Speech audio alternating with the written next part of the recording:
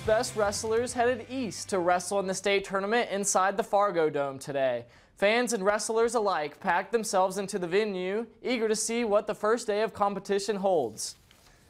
We start off here in the 152 bout. It's Colin Parison from Turtle Mountain against Nolan Brandvold from Grand Forks Red River. Parison, he's going to hold on tight for a pin, and after two minutes, Parison moves on. It was a big win for him on the day. At the 132-pound match, we have four-seed Brody Ferderer from Bismarck Century up against Owen Magnall from West Fargo.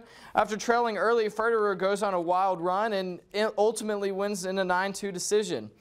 Over in the 106 bracket, we have five-seed Grady Iverson from Century against Jake Glasser from Dickinson. How about that takedown from Glaser? He nabs a big upset over the five-seed Patriot, and he is moving on. Last but not least, the girls bracket. Minot's Haley Carr on Josetta Buffalo Boy from Standing Rock. The five-seeded Magi is advancing to the next round after that. After beating Halen, after beating Hazen Beulah by 13 goals in a West Region tournament play-in game on Monday, the Demons took to the ice tonight against the number two seed Legacy with a trip to the semifinals on the line. Legacy won when these teams faced off in early January. They wasted no time getting on the board here. Gage Martell, the sophomore defenseman, snipes one from the left corner. His day wasn't done, though. It was a big day for him. Just minutes later, tic-tac-toe on the break. Martell is the final piece of the puzzle. He gets his second of the period to go through. It's 2-0 Legacy early. The Demons would get one back in the first 17 minutes. Carson Sebastian puts a shot on, collects his own rebound, and gets it from the crease. After one, it was 2 to one Sabres. The Sabres, they would hold off the Demons 4 to one and advance to the semifinals. Century, number three in the tournament, they took on Dickinson, number six, in the quarterfinals. Century's TJ Olson, he's going to tie up a defender in the corner, and the puck's going to come loose to Caden Ronis, who puts it top of the shelf. The Patriots are up a goal. Still in the first, on a breakaway, Ben Leduc connects with Andrew Brubachen. It gets it through, and it's 2-0 game in favor of the Patriots. It could, have could not have been much worse for Bryce Catermus between the pipes. Here he sees three really good chances and keeps them all out to keep the score at two. The Patriots, they shut out Dickinson 4-0, and they'll advance to the semifinals as well.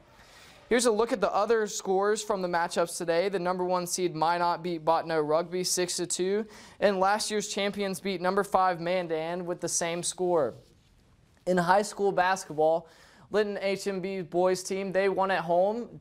Trinity wins by 14 on the road. Beulah loses by 10 at home, and the Troopers, they win by 3. Bowman County beats Beach by 6, and the Hawks, they lose by 13. In the Region 4 tournament play-in game, Harvey Wells County topped Dunseith, earning them a spot in the next round. In girls basketball, Class A, the Magi, they took care of business against Dickinson, and the Bearcats, Class B, they won on the road. Tonight, U Mary's women's basketball team took the floor in hopes of finishing the NSIC regular season strong. With a win tonight and a win on the road Saturday, the Marauders would claim a first-round bye to the conference quarterfinals. A loss in either game would see them host a Northern Sun first-round playoff game. The Marauders, they beat the Wolves by 13 in December.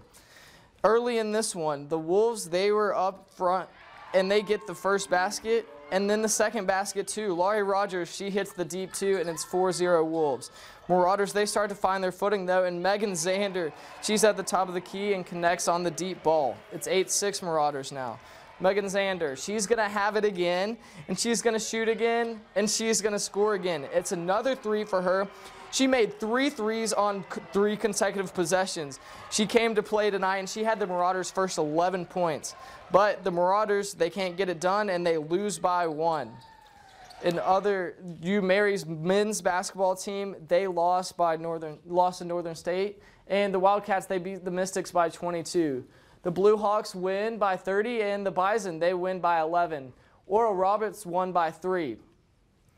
In women's basketball, the Marauders again they lost by one, and the Mystics they lost by 12 today. The Blue Hawks won at home, and the Bison they won by 11. UND's women's basketball team they won in a shootout.